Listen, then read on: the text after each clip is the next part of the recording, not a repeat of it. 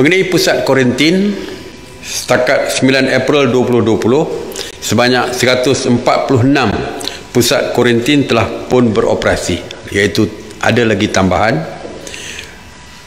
di mana 10,328 individu telah menjalani proses kuarantin wajib.